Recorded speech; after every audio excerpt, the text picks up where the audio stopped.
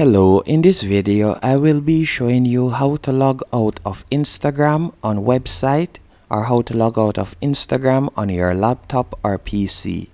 The first thing you need to do is tap on the three dashes in the bottom left hand corner. Then from here you will see the option log out and you will simply tap on it and that's it. That's how to log out of Instagram on laptop Hope you found this video helpful and informative. If you did, be sure to hit the like button and subscribe.